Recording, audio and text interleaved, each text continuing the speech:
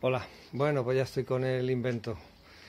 Le he pegado un encendido para, subir la temperatura un poquito, no demasiado, no he dado mucha caña para que vaya pues dilatando y vaya vaya digamos eh, asentando. No le he querido pegar mucho calentón, aunque lleva con la temperatura que está haciendo, está haciendo mucho calor.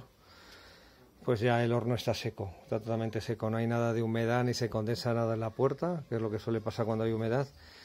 Así que lleva tanto tiempo pegándole la solana eh, aquí en el mes de julio que está seco. Entonces le pega un calentón, le compré esta mañana leña de encina, he comprado 100 kilos para empezar y bueno, le he metido un calentón al, al horno. Aquí podéis ver cómo está ya ahí dándole caña y nada, lleva un ratito y yo creo que ya ha cogido temperatura.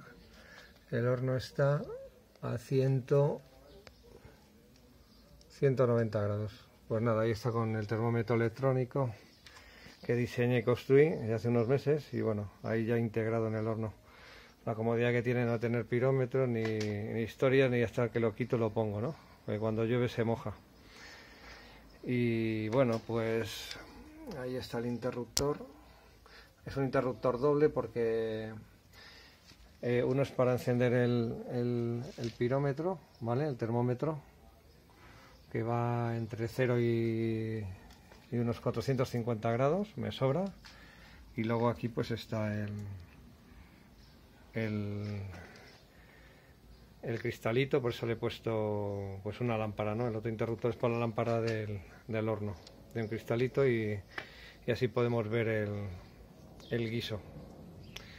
Pues nada, aquí está el inventillo y bueno, mañana empezaremos por un pollo asado a ver qué a ver qué nos sale. Un saludo, gracias por ver el vídeo.